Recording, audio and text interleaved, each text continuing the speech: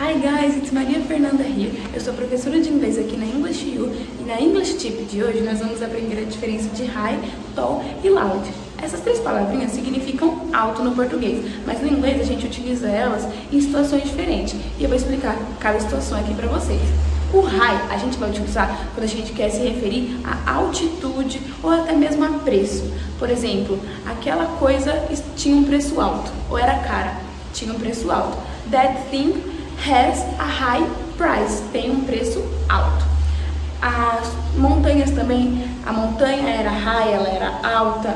É, tall, a gente vai falar quando a gente quer se referir à altura de pessoas. Por exemplo, I am tall, eu sou alta. My father is tall, meu pai é alto, sempre de pessoas.